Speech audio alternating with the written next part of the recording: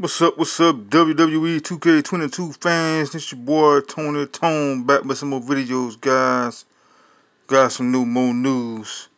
Uh, it's leaked out that um, Viking Gamers, Viking Size Gamer, um, has uh, pretty much uh,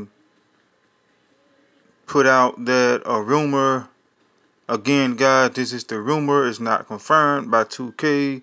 It's just a rumor that um, 2K22 will be trying to do um, microtransactions.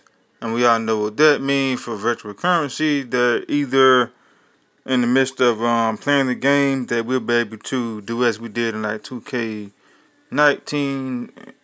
That we'll be able to either, and also 2K Battlegrounds, that we'll be able to play the game, of course, but also win virtual dollars by either playing the game or with the microtransactions we can also spend our own money.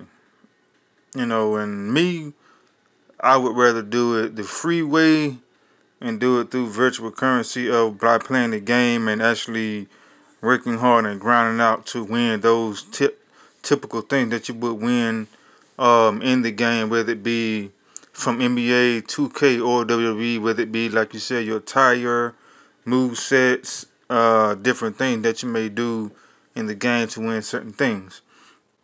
And also, I just thought about it as well. If 2K22 does do this, that they may cut off the um part of where you do the unlockables, where you um buy the buy the unlockables for like what five dollars or something like that, and you pretty much get the whole thing unlocked. But I think there'd be a good route to actually go in my player and uh, even throughout universe mode or whatever and just play the game straight up man and, and really grind and do your thing to win win what you're gonna win man whether it be championship belts or to make new belts new arenas uh entrance mode whatever to actually get a feel for the game and enjoy it man instead of just buying everything right out and just play it. That kind of defeat the purpose, man. But I think it'd be a good idea to have the microtransaction if that you want to have it for option to spend your own money or just do it free and do it with the bucks that you win on the game. But hey, man, let me know in the comments what you think about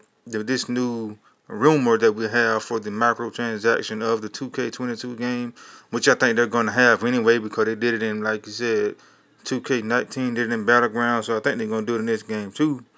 But um, my opinion about it, man, I think that it'll be a good idea because you do have those people out there that don't mind spending their own money on the game and just go ahead and pay everything straight up instead of grinding. But then you can have those that let the grind out and actually win it free and, and play the game wholeheartedly, man. But um, me, I would prefer doing it the free way, but also and still grind it out.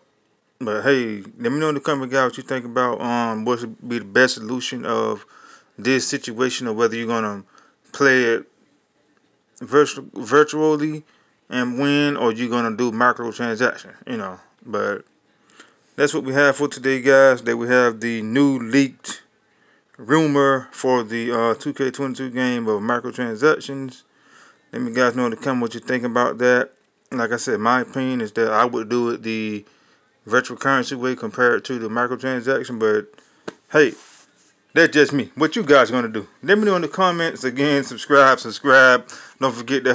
Don't forget to uh, hit the subscribe button hard as you can. It ain't gonna break. Just hit it. Boom. There you go. It's already done. Look at that. Just that quick. One two seconds. You know what I'm saying?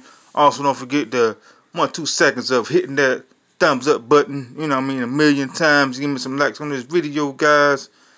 Again, love you guys for joining this channel. Thank you guys for watching. I'll be back with more videos again.